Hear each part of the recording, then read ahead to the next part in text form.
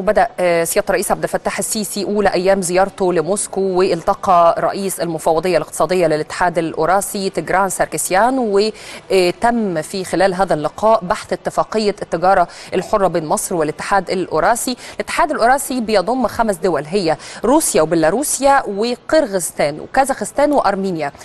سيادة الرئيس هو يعني متواجد في روسيا في زيارة بتستغرق ثلاث أيام وعلى هامش الزيارة دي الرئيس الروسي فلاديمير بوتين أصدر النهاردة تعليمات مهمة بتوقيع اتفاقية شراكة شاملة وتعاون استراتيجي على أعلى مستوى مع مصر.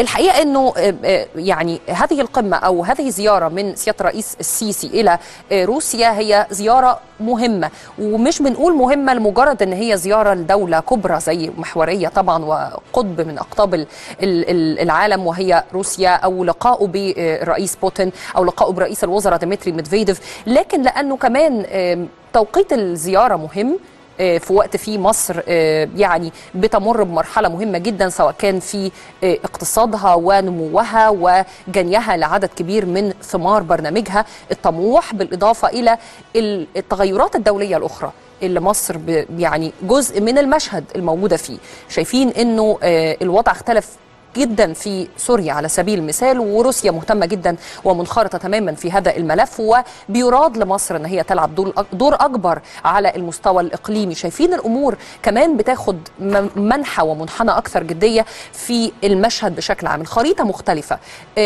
مصر عنصر فاعل وهام جدا بالنسبة لعدد كبير من الدول.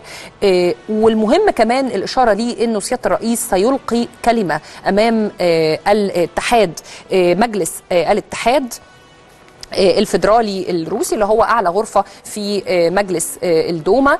والحقيقة إنه ساعتها هيكون سيادة الرئيس هو أول رئيس دولة أجنبية بيقوم أو بيلقي كلمة في هذا المنبر المهم. وبالتأكيد ده أمر له دلالته بشكل كبير. ويعني بيوضح قد إيه إنه روسيا مهتمة بالفعل بهذه الزيارة. ويعني لديها رغبة في تعزيز التعاون بشكل أكبر مع مصر على كل المستويات.